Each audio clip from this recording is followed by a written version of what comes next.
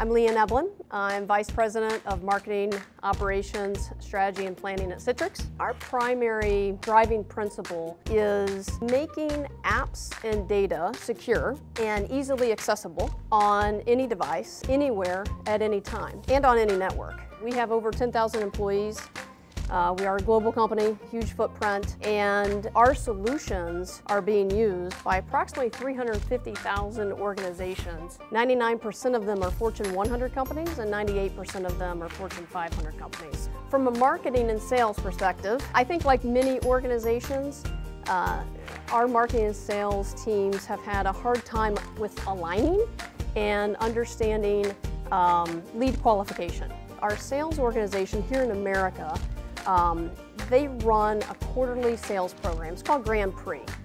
And uh, it was really labor intensive to pull the list of targeted customers that we want to go after to upsell, cross-sell, etc. on a quarterly basis. And it would take literally two weeks to pull this list together. This is just not scalable the way we are continuously running these huge sales events.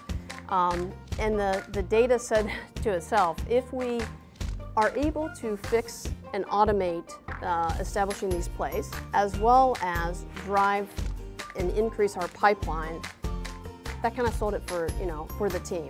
We at Citrix would not have been successful if it weren't for the partnership with Lattice Engines. I see us as one team. We are successful when we come together as one when it comes to these implementations. And uh, I can't say enough how rewarding it is to partner with Lattice Engines and be able to implement something which would seem so difficult, uh, but it was pretty seamless. I mean, it was LPI was a very great implementation and success story for us. By implementing buyer insights, uh, we have increased our overall pipeline generation by 13%.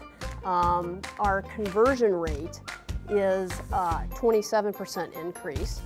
Uh, deal size is up uh, by lead by 20%.